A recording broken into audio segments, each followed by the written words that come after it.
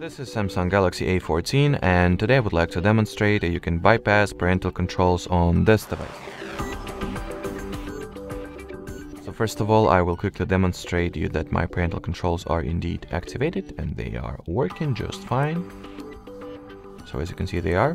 From here enter the Google category of settings, tap at the manage your Google account button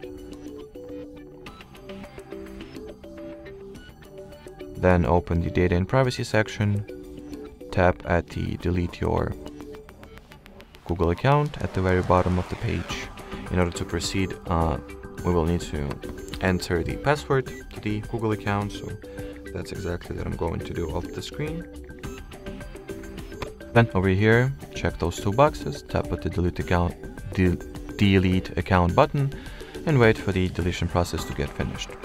From here, uh, the only thing that is left to do is to recover the Google account, but before I do that, let me quickly show you that my parental controls were deactivated, so as you can see there is no Google account linked, and none, no parental controls whatsoever.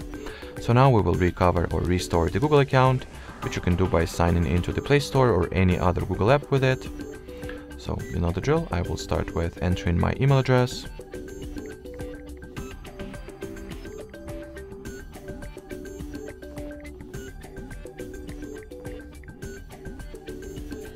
Then you should get the following message which identifies that you did everything right up until this point.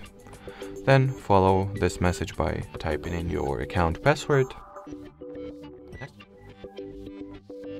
And then proceed with the Google login, uh, Google login as you would normally do. And here you have it. The Google account was recovered, parental controls were switched off, so thanks for watching, thanks for your attention, and bye bye.